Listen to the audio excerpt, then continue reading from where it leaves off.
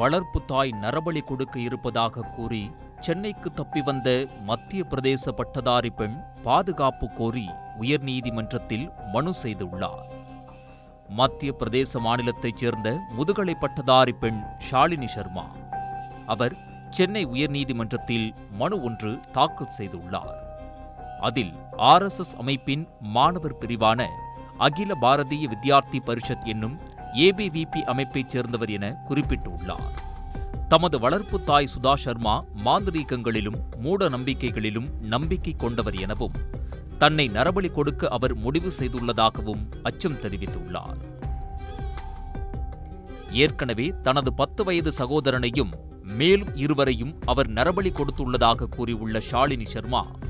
தமது வளர்ப்பு தாய் ஆர்எஸ்எஸ் அமைப்பைச் சேர்ந்தவர் என்பதால்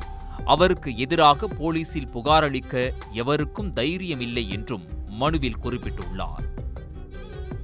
நரபலியிலிருந்து தப்பிப்பதற்காக தட்சிணாமூர்த்தி என்ற நண்பரின் உதவியுடன் பிப்ரவரி பதினேழாம் தேதி சென்னை வந்ததாகவும்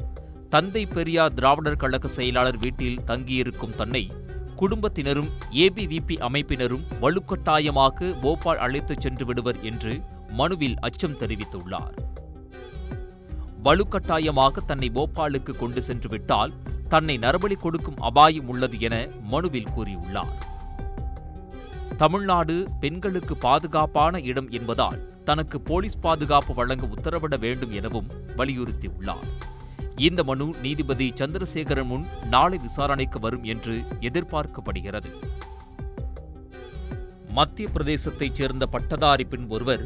நரபலியிலிருந்து தப்பி சென்னையில் தஞ்சமடைந்திருப்பதோடு பாதுகாப்பு கேட்டு உயர்நீதிமன்றத்தில் மனு செய்திருப்பது பரபரப்பை ஏற்படுத்தியுள்ளது